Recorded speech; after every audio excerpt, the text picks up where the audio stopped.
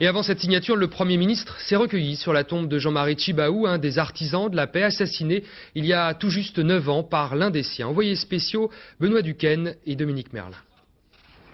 Tiendanit n'en est pas à sa première visite officielle. Il y a eu Michel Rocard quatre fois, Lionel Jospin déjà, et bon nombre de personnalités.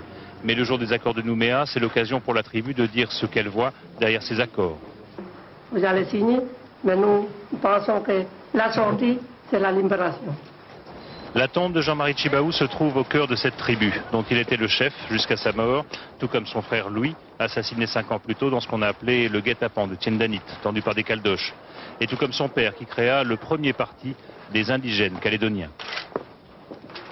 Après la mort de Djibaou, Michel Rocard était venu planter un arbre ici, signe de vie. Aujourd'hui, c'est au tour de Lionel Jospin. Il le fait au pied du drapeau kanak. Qu'est-ce que ça signifie pour vous d'avoir chacun planté un arbre ici? C'est euh, un souvenir magnifique. Nous l'avons tous les deux un peu connu, peut-être moi un peu plus que toi. Cet homme était d'abord d'une piété formidable.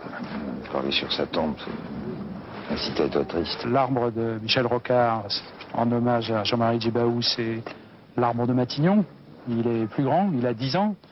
Et, la petite pousse que, je viens, moi, d'inscrire à, ses côtés, toujours en hommage à, Jean-Marie Djibaou, c'est l'arbre des, accords de Nouméa.